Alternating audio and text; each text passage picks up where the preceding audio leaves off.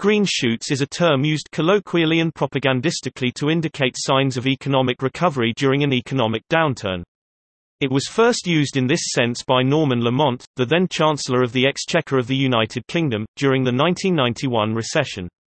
At the time, Chancellor Lamont was criticised for insensitivity the phrase was used again by Baroness Vadera, former business minister of the UK in January, 2009 to refer to signs of economic recovery during the late 2000s recession, again to criticism from the media and opposition politicians.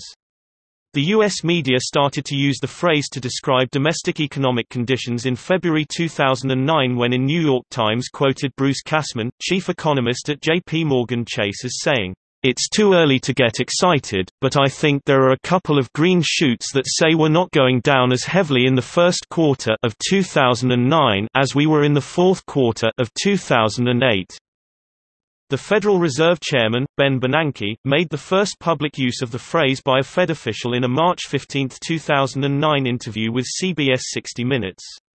Since February and March 2009, it has been used increasingly in the media to refer to positive economic data and statistics during the late 2000s decade recession.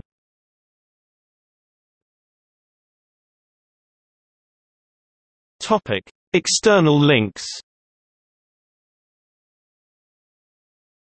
Green shoots remarks defended. BBC.